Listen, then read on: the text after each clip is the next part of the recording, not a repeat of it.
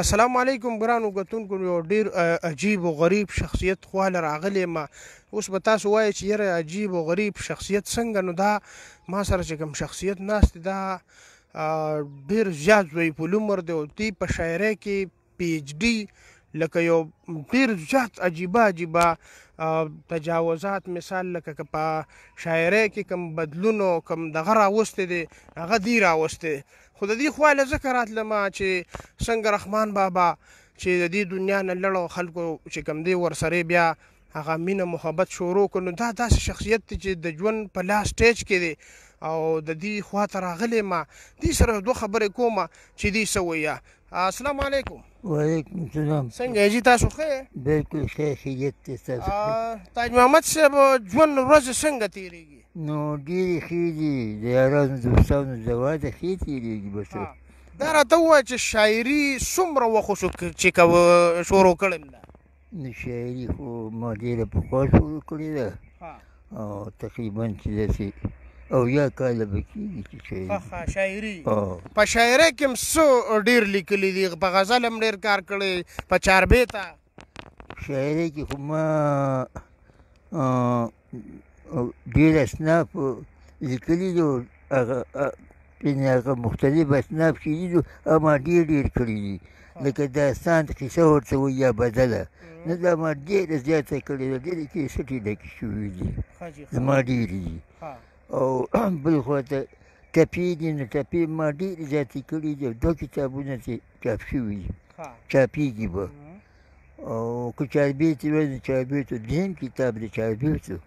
او په چاربیت کې ما بیا نوې اتحاد کړی دی او نوې چاربیت به جوړ کړی دی دی یو یا قسمه نو دغه د شاعري اصناف دی دغه ما ټول کړی دی باقي نظم او غزل نو د غزل چې دی نو څلور سندرې غزلې دا خو ما کړي دي ډېرې خو یو کتاب ما دیوان دی دغه دیوان کې ټولې غزلې چاپي چاپي نه دی قدمي دی نه دیوان دی او دیوان کې خود غزلې بس نه او داسې شاعرانو کې زوی په لومر شاعرانو کې نموړو شاعرانو کې چا سره مواسطه راغلې ده نو زما د زمانې داسې راغلي دا داسې لکه زما په وخت کې الحیدر بابا و هغه خو موږ نه مشر وو دغه څه راوړېدلي راوړېدلي یو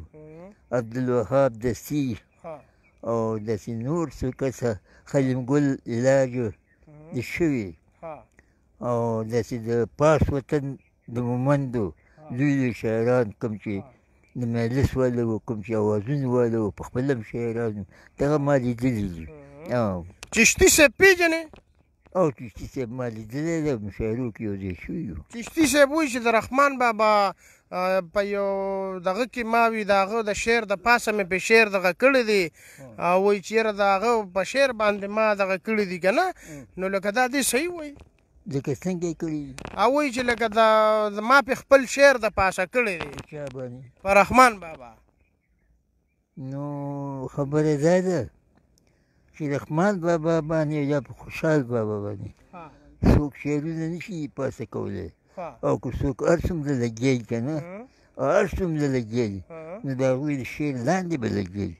باره د پاسه نشي ویلی نشي نشي ویلی او چې څه دي هغه ویلي دي چې څه دي هغه ټول ویلي په داسې لفظونو کې مختصرو کې چې ډېر اسان دي او که اوس موږ یا د خلک دعوې کوي نو داسې کوي نشي لکه نه هغه وایي چې ما یو چاربې ته لیکلي ده چې د آدم علیه السلام نه والې تر د نبی علیه السلام پورې دا دنیا څنګه دغه شوې ده وایي چېرې ما ویش پاڼې یو چاربې ته لیکلې ده دا صحیح خبره ده د کووي شپاڼې چاربیتې چا چا ته ویلې چې دنیا څو ډنګه ده دا خو چې ډنګ ډنګ بولنو نو دا خو ما جوړې کړي ده د ګمبه شاید کې کیسه دوی کتاب دی ما یو چار بیته جوړ کړ یو چار بیته ها د ابراهیم علیه السلام د نسل او هغه د پیدایش او د نمرود او د دې ټول عمر بیا د هغه نه اولاد اسحاق علیه السلام پیدا کېدل بیا د هغوی نه اولاد یعقوب علیه السلام بیا د هغوی نه یو اسماعیل علیه السلام عربو ته اسحاق علیه السلام عجمو ته دلته او دا شجره ما سر ته رسولې ده دا په یو کیسټ کې راغلي یو ګنټه کې تربیې ته د قطر څه بیا دې سړو ولیکل انسان الله ده دلته نه ورته وو لکه د هر پیغمبر د بیله بیله واقعه بیان بیله بیله د موسی علیه السلام بیله ده د ابراهیم علیه السلام بیله خو په یوه شربت کې دې خبره پورې ویل شي د آدم علیه السلام نه دا خو څه دغه نه صفت نه دی او نه دغه څه خبره ده باقي دغه د ګنبه شهر کې باید څه چې یوه شربت یې جوړه کړې وه کنه نو دا چې دومره خاص خبره نه یو داستان دی بس لګیا اوسه جوړوي نو څه چل شو نو نه کمال دا دی لکه رحمان بابا په یو روبایي کې لږ یو څو کرښې او پای کې کمال کړي دا کمال دی دا نه دی اسې څه ګوري رحمان بابا شاعرانو کې دی نوموړو شاعرانو کې کم یو دی خوښ وه هغه وخت کې خو علي خان هم تیر شوی دی حمید بابا هم مومن دی هغه هم تیر شوی دی او خوشحال بابا هم دی اوس رحمان بابا او خوشحال بابا دا دواړه اوچت شاعران دي خو د خوشحال او د رحمان طریقې ګذاري لکه څنګه چې د حاجي محمد امین صاحب او د عبدالله صاحب د نعتونو طریقې جدا دي هغه عملي دي او د ده ډولي دي د ده ډول دی نور به په خپله خلک پوهېږي دغه چې د خوشحال بابا دنیایي کار کړی دی دنیایي او رحمان بابا صرف او صرف د دنیا یو څو خبرې کړي د دنیا ښځه بده نه ده ویې ګټه او چې چا د باندې حمله وکړه سپي ته یې ور واچوه بس خلاص به شي کمال یې کړی دی دنیا دغه شی دی او ښځه بده خو نه ده ویې ګټه زکات یې وکړه عرش یې وکړه نور څه که نه خو داسې محب کېږه مه د دنیا د رحمان بابا ډېر اوچت دی دغه شاعر کړی دی ها؟ او ډېر اوچت شوی د زما په خپله چې دی نو په طرزیانو کې طرز والا ها، ان د غزل لوبې سندرې طرز والا چالاکي ها، میرامد استاد د پړانګو ها. کوم چې ریکارډ والا دي پخوا دي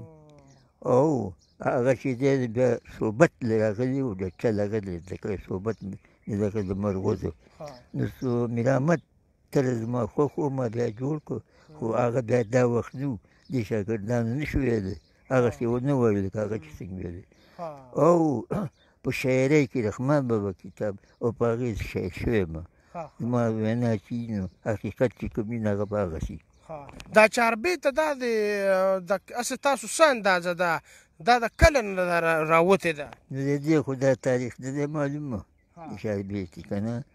او نه د ټپې معلوم دی د ټپې نه دی معلوم د کوم وخت نه راځي رحمان بابا چاربې ته لیکلی ما خو د چاربې ته نه ده اورېدلې روبایي مې اورېدلې ده دا روبایي خو موږ وایو که نه خو روبایي موږ نه پېژنو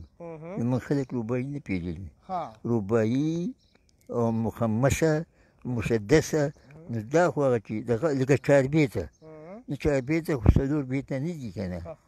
چاربیته خو ما دا د درې او دا قسمه جوړ کړو او هغې سره مې ولیکه چې دا یو دا دوه دا دی چاربیته نه ده چاربیته نه ده ګورې لکه بیت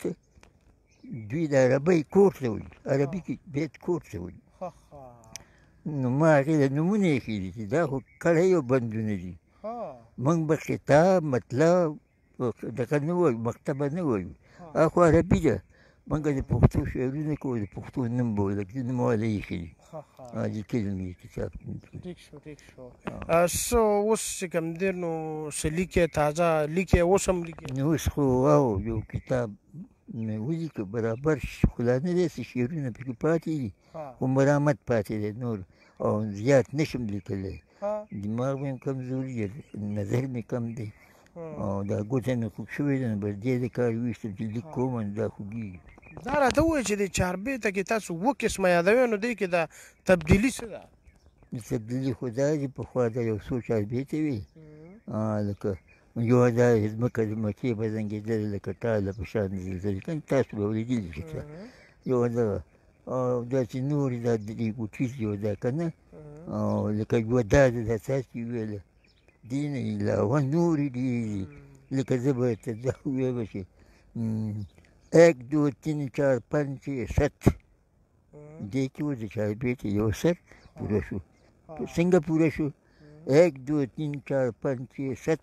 ات نو دس یار با سیر شو شو د نه ګوري که د دې کنه وران شو سر وران شو اوس په دې باندې اوس دا خو نه پوهېږي ایک دو تین چار پنج چھ ست دا یو سر شو ات نو دس یار با سیر شو نو کوی چې شو ده نو وران دي کړه چاربیته ده او که دا دال دې ورسره کړ ګوره څومره نه نه ټکې چو ده ورانه شو او که وایي چې چو نو ټیک شو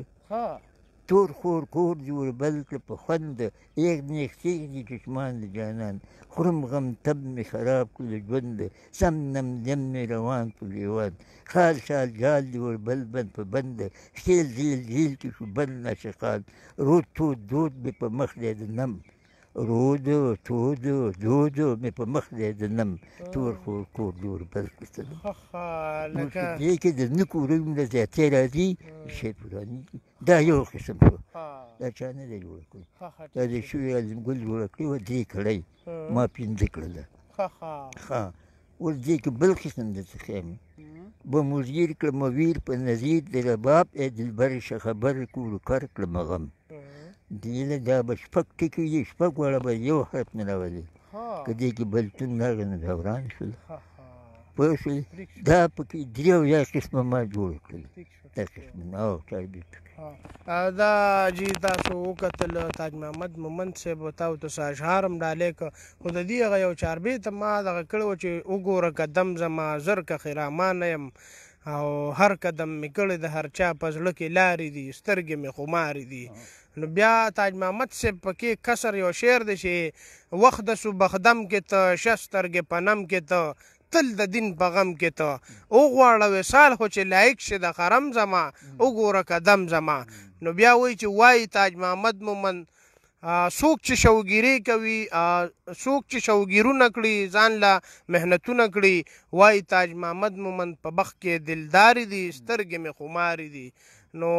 ډیره مننه کوم دا ویډیو د مرګرو سره شیر کې تاج محمد صاحب زوی په لومر چې کوم د دی مهنت د غم تاسو ته مخې تراولو هو مین خبره مې دا ده چې دا زمونږ د پښتو اساسي دي دا رکول نه دي په کار دي سره بیا هم غپ لګو چې کوم دا خبرې دی وکړي د دې کتابونه سبا تاو ته مخې تراولو جی